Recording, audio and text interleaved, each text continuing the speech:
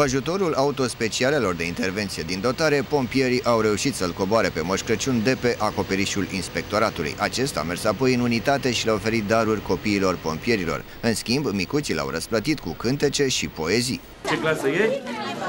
A doua? 2 plus 2? 4 plus 6? 6, 10. Bine. Și tu? În poezie?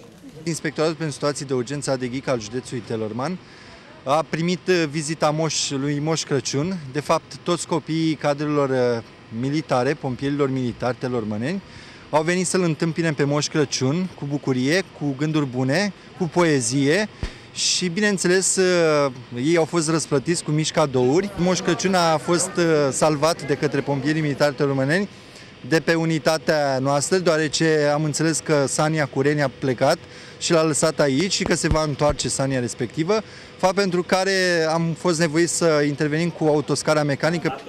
Tot în cadrul aceluiași eveniment, grupul de colindători al ISU Teleorman împreună cu copiilor au susținut un mic recital de colinde în cadrul inspectoratului. E Crăciun și ninge iar în suflet de copii și în orice fund de neapăt copilăria.